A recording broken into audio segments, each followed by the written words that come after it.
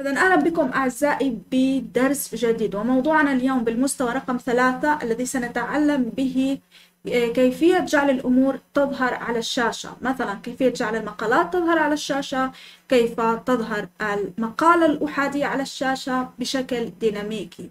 فإذا الآن سنبدأ بهذا بهذه بهذا الموضوع.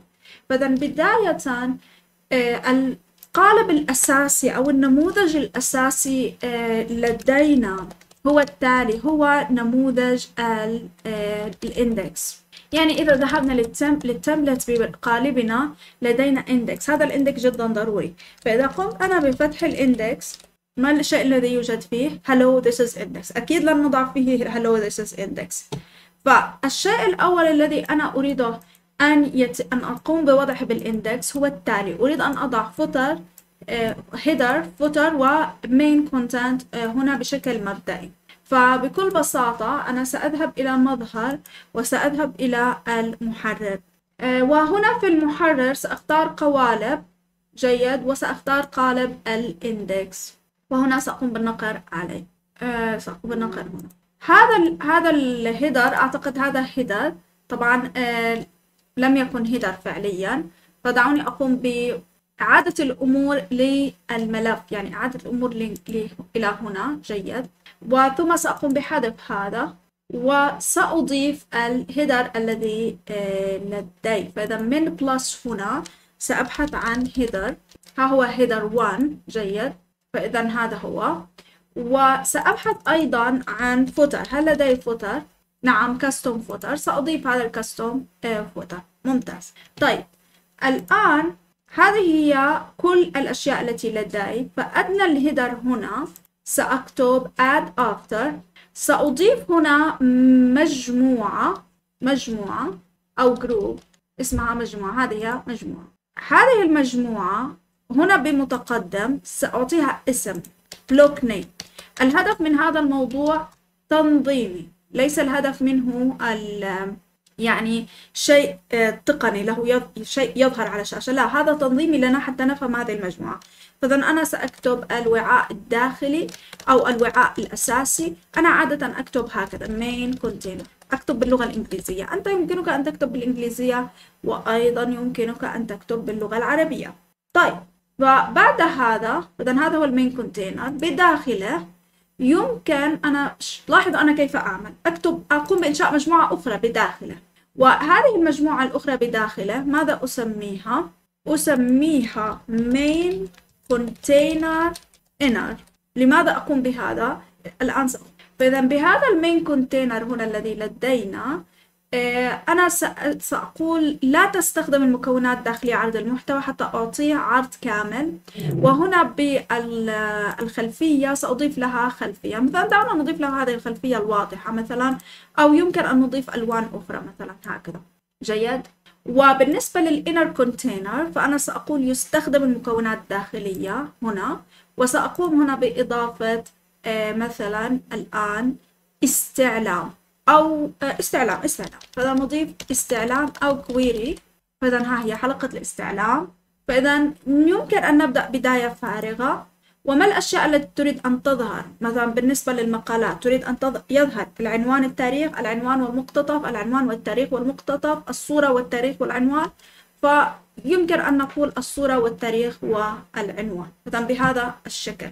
إذا لاحظوا الآن كل المقالات ستظهر. إذا قمت أنا بحفظ بهذا الشكل وقمت بالعرض لاحظوا سيقول hello this is index. لماذا hello this is index هذا الشيء يحدث أحيانا. أنا بالرغم أنك قمت بتعديل هنا لكن لا يظهر. فالحل بهذا الموضوع فإذا بكل بساطة يمكنك أن تقوم بمثلا add before هكذا. وتضيف شيء مثلا هنا. تغير قليلا على النموذج حتى تظهر التغييرات لأنها لابد أن تظهر فعليا. لكن أحيانا يحدث شيء فإذا ها هي ظهرت. جيد. فإذا لاحظ الشيء الذي حدث أن باللون هذا الذي أنا اخترته كان يعني full width للصفحة وأما بالنسبة للمقالات فأخذت بهذا الشكل. مع لاحظوا هنالك لدينا pagination هنا أو للصفحات لأن لدي أكثر من مقالة. طبعا لماذا يظهر لدي هنا مقالتين فإذا لنرى إذا نظرنا بهذه الحلقة الاستعلام جيد. وقمنا بالنقر على الأعلى هنا سيقول عناصر لكل صفحة ثلاثة. جيد. نحن ربما نقول لا نريد مثلا عشر مقالات في الصفحة الواحدة ونقوم بالحفظ.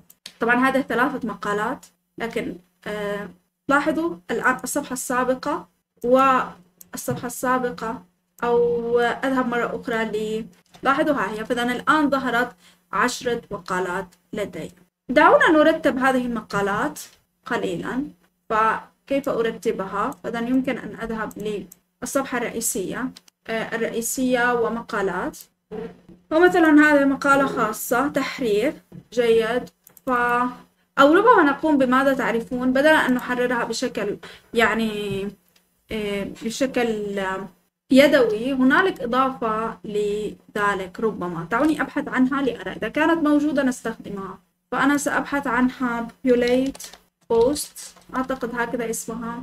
فإذا latest uh, easy هذا easy populate posts والهدف منها هو أن تقوم بتثبيت مقالات يعني إضافة مقالات أوتوماتيكية فإذا يمكنني أنا في هذا الوقت ماذا أفعل؟ مثلا أن أقوم بحذف المقالات التي لدي ربما حتى يعني أرتب أكثر. فإذا دعونا نذهب الرئيسية والمقالات. فسأحددها كلها وأكتب نقل إلى سلة المهملات. جيد. فإذا الآن هذه الإضافة أين ذهبت هذا سأقوم بأكتبيت لها. فإذا يمكن نذهب إضافات مجددا. وها هي نذهب إلى settings أو الإعدادات settings. طيب فإذا لاحظوا الآن آه، يقول لنا عن كيفية نحن نريد مقالات مثلا عشر مقالات فإذا نريد آه، عشرين مقالة جديدة آه، paragraph random نريد أن يكون لها مقتطف sticky post لا و status status published وهنا وثم سأذهب إلى مكتبة الوسائط. إذا آه هذا هو ال ID item واحد وعشرين. هو في الأعلى واحد وعشرين. وجدناه. وهنا تحرير item عشرين. هكذا. والثالثة تسعة عشر. والرابعة ثمانية عشر. ممتاز. فإذا الآن نذهب إلى هذا. وهذه لنرى ماذا يقول أوكي.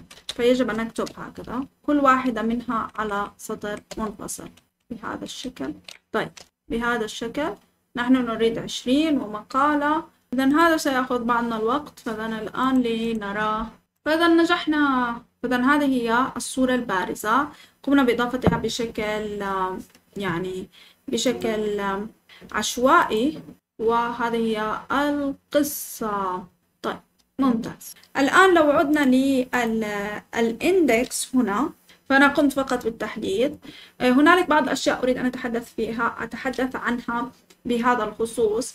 فإذا إذا قمت بنقر هكذا جيد ولدينا هنا ال main container جيد و main container inner container هذه الفقرة لا أحتاجها بعد الآن. فإذا يمكن أن أقوم بحذفها بكل بساطة. فإذا الآن لدينا حلقة الاستعلام. فإذا هذه هي حلقة الاستعلام طبعا إذا قمت بالنقر عليها بهذا الشكل. حلقة الاستعلام لاحظوا هنالك خيارات هنا لدينا. تستخدم مكونات داخلية عرض المحتوى نفس فكرة الأفكار السابقة أن يأخذ عرض هذه ال query هذا النتائج هذه هذا الاستعلام يجب أن يكون ضمن width 700 بكسل الذي حددناه نحن في قالبنا. هنالك إعدادات تضمين استعلام من القالب. فإذا بالنسبة لل index ضروري أن نقوم بهذا. وماذا تعني هذه الجملة؟ هذه الجملة ضروري أن نفهمها. معناها هو التالي هو أن مثلا إذا نحن الآن في صفحة ال index فسيتم عرض المقالات عادي في صفحة ال index. مثلا لو ذهبنا لصفحة التصنيف ونحن ليس لدينا صفحة للتصنيف بشكل افتراضي يجب أن تظهر مرة أخرى لدينا صفحة ال index. وسيتم عرض التصنيف بناء في صفحة ال index حتى لو لم يكن نموذج التصنيف موجود.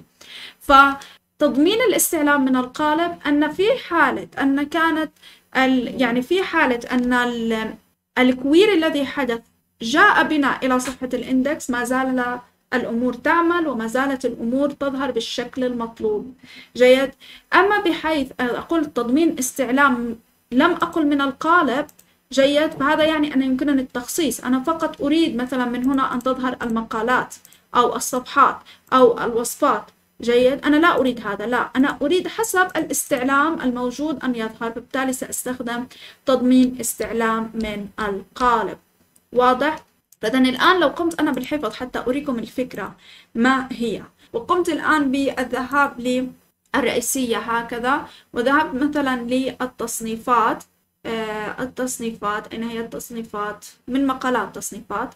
جيد. لدي هنا تصنيف طبيعة. طبعا هذا تصنيف طبيعة أنا لم أقم بإنشاء نموذج له. فإذا قمت الآن بعرض هذا بهذا الشكل جيد ما الشيء الذي سيحدث؟ بدأ سيتم عرض صفحة الأركايف. لماذا؟ لأن التصنيفات تظهر في صفحة الأركايف.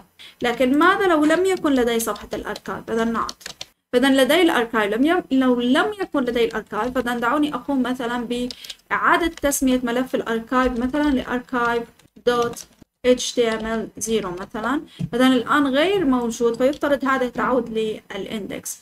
فإذا لاحظوا عادت للإندكس فإذا الآن لو قمت أنا بتحرير ليس التحرير تصنيف تحرير الموقع. لاحظوا عدنا لصفحة الإندكس. هي. جيد. فهنا مثلا بالطبيعة لم يظهر شيء. طبعا أنا لم أحد لم أقم بالحفظ. أو قمت بالحفظ. هذه الفقرة التي كانت هنا ما زالت موجودة هكذا. تظهر لنا لا مشكلة. آه، الفكرة الآن أن لم تظهر لنا المقالات. لماذا؟ لأن لا يوجد لدينا مقالة تحت تصنيف آه، طبيعة. لاحظوا عدد مقالات تحت تصنيف طبيعة زيرو. لكن لو عرضت مثلا غير مصنف فإذا يفترض أن تظهر لي كل المقالات تحت تصنيف غير مصنف. لماذا حدث هذا الموضوع؟ لأنني أنا كتبت هنا أنني أريد تضمين استعلام من القالب. لو قمت أنا بإلغاء هذا الخيار مثلا وعرضت مرة أخرى طبيعة طبيعة ليس فيها طبيعة ليس فيها مقالات. جيد ظهرت لي شيء هنا. لماذا ظهر شيء هنا؟ لأنني أنا قلت اعرض لي الوصفات.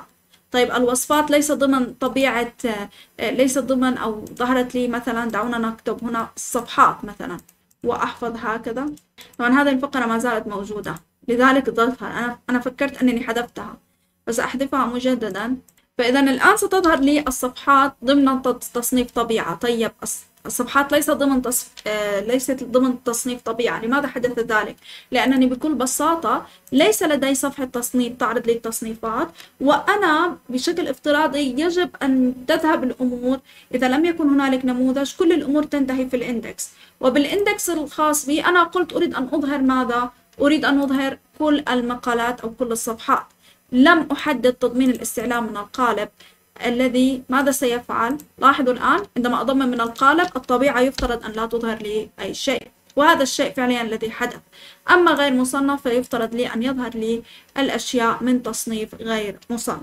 إذا أتمنى هذا واضح هذه النقطة الخاصة بالإستعلام أو تضمين الاستعلام من القالب.